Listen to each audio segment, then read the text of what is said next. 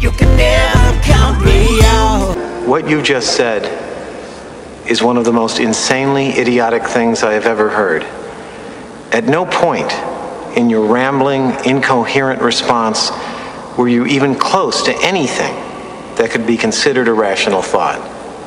Everyone in this room is now dumber for having listened to it. I award you no points, and may God have mercy on your soul.